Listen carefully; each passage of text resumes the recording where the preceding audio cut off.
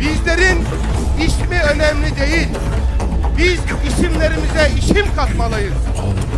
Bir Karaca oğlan olmalıyız mesela. Bolu Bey'ine direnen bir Köroğlu olmalıyız.